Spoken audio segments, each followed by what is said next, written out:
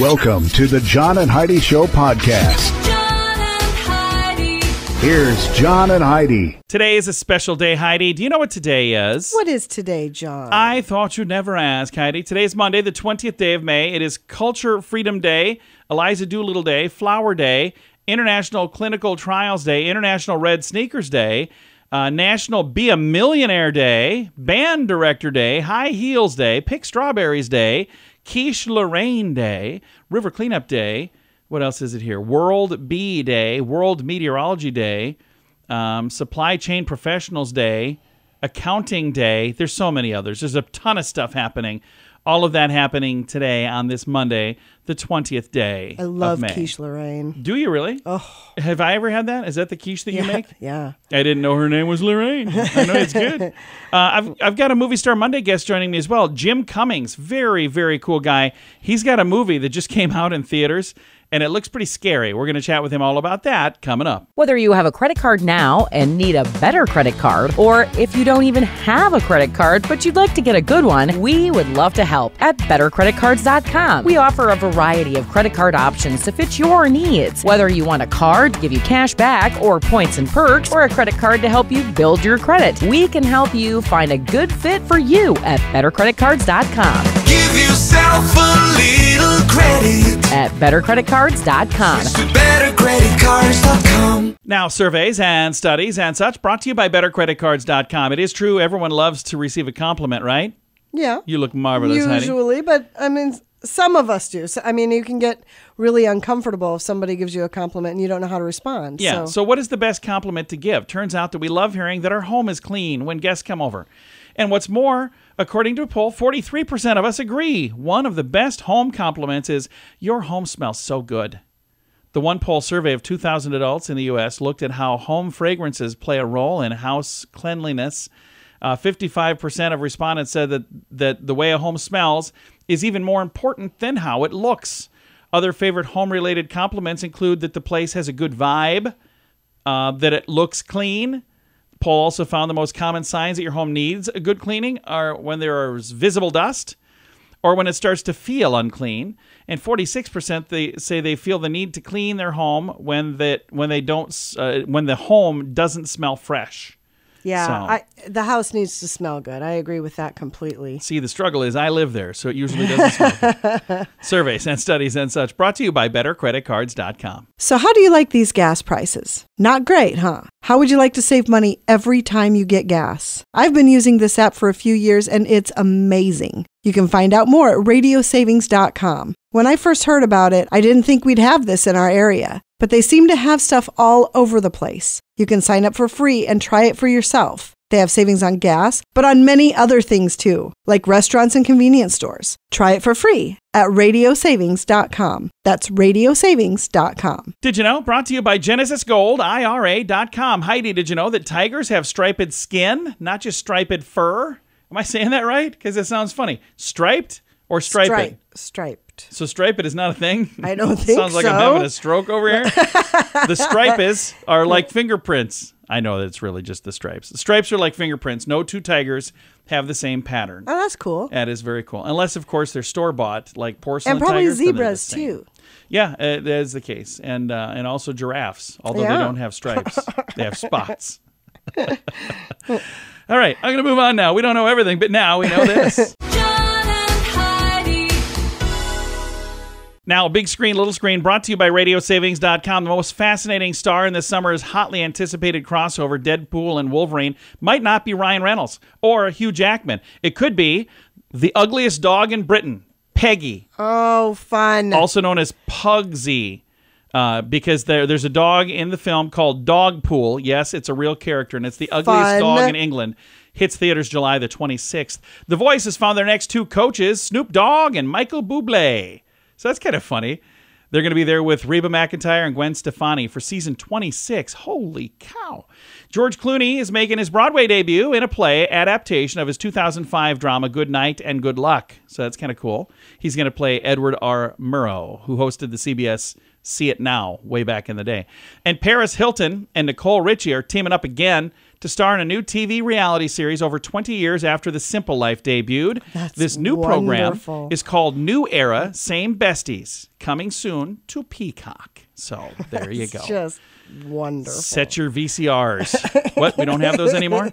Big screen, little screen, brought to you by radiosavings.com. Do you have a mobile phone? How much do you pay every month? If that number is more than 15 bucks, it's time for a Mintervention. Mint Mobile makes it affordable and easy to switch. Get a new phone or bring your current phone. At mintervention.com, you can see the current special offers from Mint Mobile, offering premium wireless for just $15 a month. That's far less than most people are paying, just $15 a month. Learn more now at mintervention.com. That's mintervention.com. Now, your scoop of the day comes your way, courtesy of bettercreditcards.com. Heidi, take a listen to this. There was a survey that was done.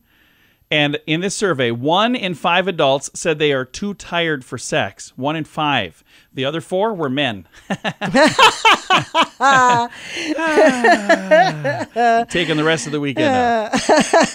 All right, I'll get back to work. Uh, I'm going to play a fun little game here, and and I just said weekend, but it's Monday. Uh, this is something that we usually do on a weekend, but I'm I'm doing this today. Uh, would you rather? So it's a fun little game where I ask Heidi, would you rather Okay. this or would you rather that? So would you rather play a video game or watch TV all night? Watch TV. Yeah, me too. Would you rather give away all your money or give away all your possessions? Mm, all my money. Yeah, probably me too. Because my home would be a possession. Yeah. So And I mean, what if I gave away eighteen dollars? Who's going to care? exactly. Would you rather live in a real haunted house or in the middle of a desert? Um, probably in a real haunted house. I would too. I'm Like I said, hopefully I've got friendly ghosts. Uh, would you rather watch your most embarrassing moment on a one-hour loop every month, or remember it once every day for the rest of your life? I think you do remember it once every day for yeah, the rest of your life. Pretty much. Would you rather be able to type faster or dance better? Well, I'm already the best. better. I'm already the best dancer I know. So, uh, and uh, would you rather sleep on the floor with a pillow and a blanket, or sleep on a bed but no pillow and no blanket? On the floor On the with a floor pillow? with a pillow and a blanket, Uh, probably. I'm going to go with the bed. Would you rather sing your favorite song all by yourself in front of an arena full of people or in front of the original artist all by yourself? I would rather not do either of those. I did karaoke one time and the original artist of the song walked in the room while I was singing their song. I didn't pick the song, by the way, the karaoke person did. And then I was singing their song when they walked in. That was really weird. It was so awkward. There are other questions if you'd like to play the Would You Rather. It's all in the show notes for today at johnandheidishow.com. Can your IRA or 401k stand up to the next financial crisis? By allocating a percentage of your retirement into physical gold and silver with a tax free rollover, you can diversify and safeguard your holdings from turbulent markets and economic downturns. Safeguard your assets with a tax free rollover with a Genesis Gold IRA, the only IRA that can hold physical precious metals. Protect your retirement today with a simple phone call and receive your free gold and silver guide. Call 1 800 200 Gold or visit GenesisGoldIRA.com. Thank you for listening to the John and Heidi Show on a Movie Star Monday. Our guest today, Jim Cummings, is in a new film that's out now. It's called The Last Stop in Yuma County. How long does it take to put a movie like this together? It took about a month of production, three and a half weeks in Palmdale in the middle of the desert at a diner uh, called the Four Aces Movie Ranch. But honestly, it took about 14 months to edit the film. The director and writer, Francis Galluppi, ended up editing it himself, and it's finally done. But, you know, it's a labor of love. He did a, a, a year of prep trying to get the film made, and then a month of shooting, and then you know, a year and a half to edit the film. So, you know, three years almost. It's a it's a strange time making movies this way, but Yeah. It's a really good product. So I'm gonna be happy with it. Now, I saw the trailer for this and I'm excited to see the movie. And I see it's in theaters and it's also available on digital. How weird is that as a filmmaker? Like growing up, for me, it was like I had to wait months to see this on VHS and then eventually on, on DVD. But now you make a movie, it's in the theater, and sometimes like this, the same exact time, people can watch it at home as well. I think it's nice. You know, the technology has gotten good enough that people can simulate a movie theater experience from home. A lot of people, when they're watching movies like ours that are unsanitized and, and rough and raw, prefer not to be around other people so they can't hear them laughing at the at the crass stuff or something. Um, I don't know. Audiences, I think, have changed. We've become a bit more uh, impatient and we want to see the thing immediately if someone's talking about it at the water cooler. And I think it's fine. It's nice. If cinephiles want to go to the cinema and see the film, they get to appreciate it with a big crowd and hear all the laughs and stuff. But um, if somebody does prefer to watch it at home, it's nice that they can immediately do that too. I think it's neat. Like we've never had that kind of access in the history of film, and it's changing things. But I prefer it. I think it's very cool. Now, for people who have not seen the trailer or maybe don't know anything about this, let's explain what this movie is about. It's called The Last Stop in Yuma County, but what's it about? The movie is about a diner with the most beautiful waitress in the county uh, in the middle of the desert. And there's an adjacent gas station, but uh, the gas truck hasn't come to fill up the gas station, so it's empty. And I pull up to get gas. I'm a knife salesman, but there's no gas. So I have to have uh, a sit at the diner. And then uh, these bank robbers show up, and they need gasoline, and they're trying to get out as quickly as possible, but nobody has any gas. So they're stuck there waiting for somebody to come with a car uh, that has gasoline. And so they hold me and the waitress hostage, and they say, if anybody else comes in here, act normal. and uh, I, it's really funny because it's just like, what do you do when somebody tells you at gunpoint to act normal? You act very not normal. It's very funny and very tense. And then there's a wonderful cast of characters. There's about 12 people who are great actors that you'd recognize from everything. They come in, and then turns out everybody has guns but me. And there's a big shootout, and I'm stuck under a booth with a knife. And it's very funny and very explosive and very unsanitized. And think people will really like it. And I love the slogan never bring a knife salesman to a gunfight. That's awesome. That's right, ripping off the Untouchables, Sean Connery's line. It's a it's a good bit, yeah. Now, I told you I've not seen the film, but I did watch the trailer and I'm excited to see the film. But in the trailer, there's a scene in this diner that kind of reminds me a little bit of Pulp Fiction. Was that on purpose or was my brain just working overtime? No, it's totally a very uh, Tarantino adjacent film. It's funny where like when you put on uh, vintage music and you have actors speaking in a very uh, very certain way, it does translate to Tarantino. And there's been a lot of references to that. Tarantino, the Coen brothers, like all of this kind, you know, after hours, all these like great diner sequences in films have been referenced. And the director, Francis Galluppi, is a cinephile, and all of that gets kind of like mashed together in his brain before it comes out as a script. It's really not a Tarantino film. It's very much more, I guess, funny or slap the vaudeville. I don't know. It's difficult to explain. It's a thing of its own. And that diner is like a character of its own. Oh, it's everything. The film is about being stuck in this terrible place, and it's really desolate out there. Having spent a month out there, it's not a real functioning diner. There's no running water. There's no electricity. You have to pump in everything if you want the place to, to work. But on camera, it looks incredible, and we've shot it from every angle. So, like the entire diner is now documented in this film, and you'll see it in commercials. Now, nowadays, I'll be watching commercials and I see that spot, and I'm like, oh, it's that. But it never looks like it does in this film. It's really worth watching. It's a very, very cool space. Very cool. Jim, thank you so much for your time. Oh, thank you for having me. It was my pleasure. Again, the film is called The Last Stop in Yuma County. It's out now. I've got a link to the trailer in the show notes for today at johnandheidishow.com. Whether you have a credit card now and need a better credit card, or if you don't even have a credit card but you'd like to get a good one, we would love to help at bettercreditcards.com. We offer a variety of credit card options to fit your needs. Whether you want a card to give you cash back or points and perks, or a credit card to help you build your credit, we can help you find a good fit for you at bettercreditcards.com. Give yourself a credit.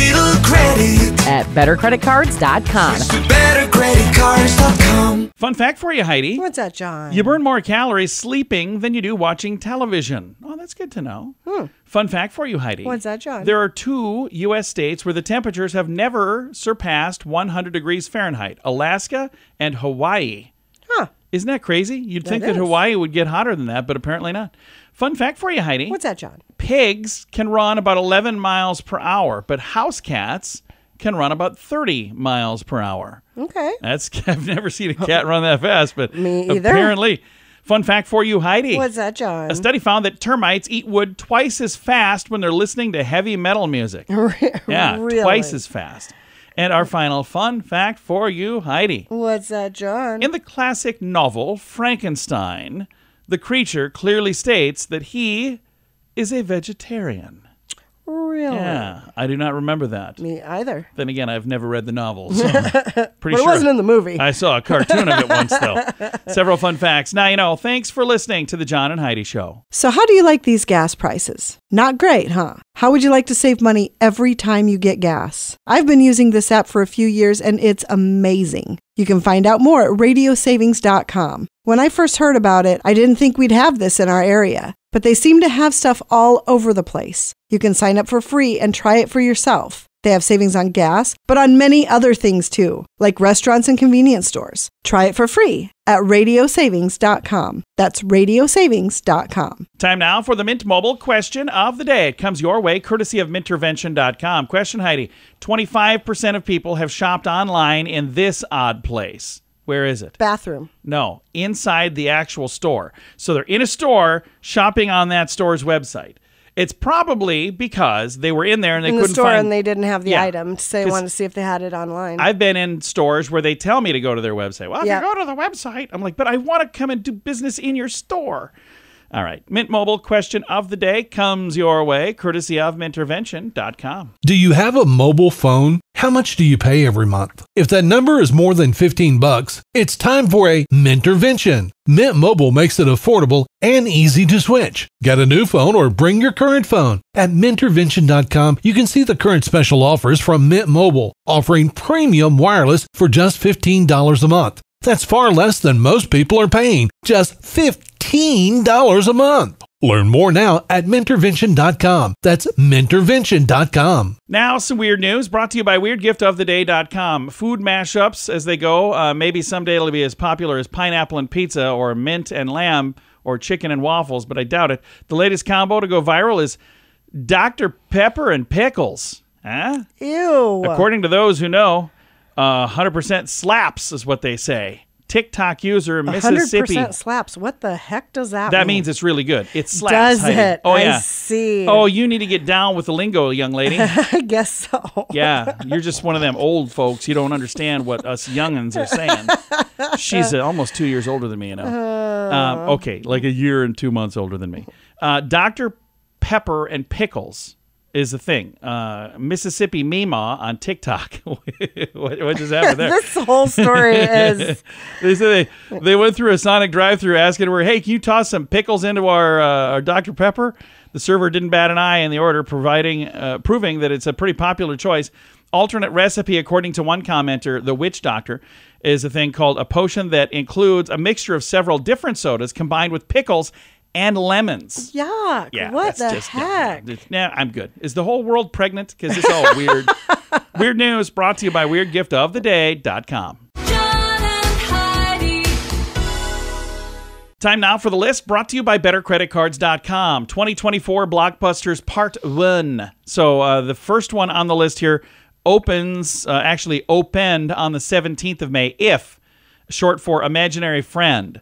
So have you seen the previews for this? Ryan Reynolds' voice is in this. and I've seen the previews. I saw, and I saw some videos of like It's a the red carpet thing. Yeah. thing. Yeah. So that opened on May 17th. Uh, Furiosa, a, a Mad Max saga, uh, May 24th. It's an origin story about Mad Max. And then Ballerina, June 17th, a John Wick spinoff about a dancer assassin named Rooney. really? Yeah. And uh, apparently Keanu Reeves will show cat? up. What's that? Did somebody kill her cat? I have no, I don't know. I don't know if that's what happened, but apparently Keanu Reeves will show up as everybody's favorite killer on the run, John Wick.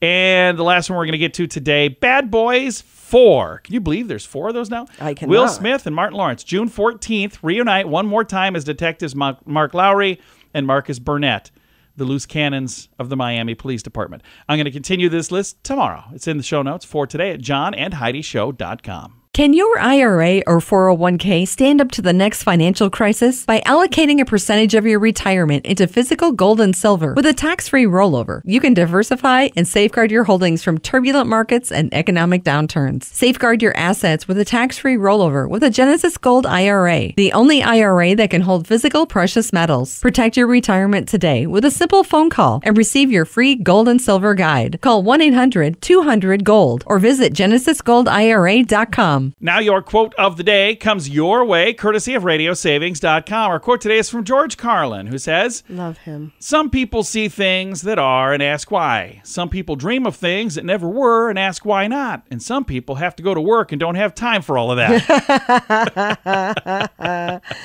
oh, that's a great quote. that's I should stitch that on a pillow. Okay, maybe not that, but it's it's a good quote. George Carlin brings us our quote of the day, which comes your way, courtesy of radiosavings.com. This portion of the John and Heidi Show is brought to you by the John and Heidi Show. That sounds kind of funny, but it's true. Go to your local radio station and ask them to start carrying the John and Heidi Show. Here's the best part they can carry the show for free. They play a couple commercials, but it doesn't cost them anything every month. So if you know a radio station that could use a little bit of help, send them our way. Send them to johnandheidishow.com. Again, johnandheidishow.com. We would love to do a radio program in your community. Then you could listen to the podcast and listen to us on the radio. John and Heidi. We always like to wrap things up around here with good news, and I think this is good news. Comes your way courtesy of GenesisGoldIRA.com. And our story today comes from New Jersey. Love this story. A rescued German Shepherd saves the owner's life just months after adoption. A heartwarming tale of loyalty and bravery. Sadie, a six year old German Shepherd, and uh, an alumni of a place called Arbar, Rampago Bergen Animal Refugee. What? Did I say it wrong? It's in New Jersey. They've emerged as a true hero. I, I'm pretty sure I said all of that wrong. I didn't mean to. Sadie's journey, though, began when she was uh, surrendered to Arbri by the previous owner due to a move. Confused and lost, Sadie found herself in this shelter, yearning for a family that she had lost. With a nervous disposition, particularly around men, she faced challenges in finding a new home. However, fate had a special plan in store for Sadie. A few months ago, Brian entered Sadie's life, instantly formed a connection with her, despite her hesitancy to trust Brian in the beginning. Sadie's intelligence and unwavering loyalty gave way. He decided to give this dog the chance uh, of a lifetime by adopting her and welcoming her into his home. Last week, tragedy struck when Brian suffered a stroke while he was all alone gosh. at home. But he wasn't all alone at home because Sadie lives there now. In a remarkable display of devotion, Sadie never left his side. Quick thinking and unwavering determination, she licked his face to keep him awake and then helped oh. drag him across the room to his phone. It was Sadie's actions that enabled Brian to call for help, ultimately saving his life. Currently, Sadie is staying with a family while Brian undergoes recovery in rehab. Despite being apart, they make sure to FaceTime every single night, oh, eagerly cute. awaiting the day they cannot they can soon be reunited. How great is that? That's awesome. I love that story. I've got a link to that in the show notes for today at johnandheidishow.com. Time to say goodbye, Heidi. Goodbye, Heidi. Goodbye, everybody. Have a great day. Thank you so much for listening to the John and Heidi Show.